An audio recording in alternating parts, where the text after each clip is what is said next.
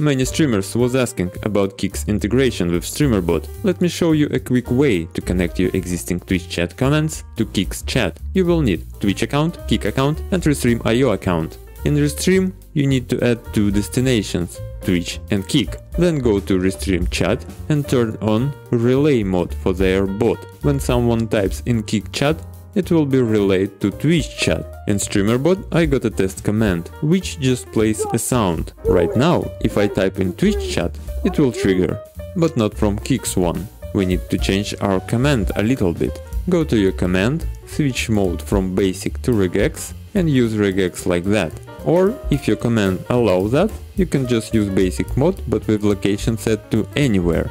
Now your command will work in both chats. The same way, you can listen for chat messages. Now stop nagging StreamerBot about Kick integration and better write to Kick to make their public API.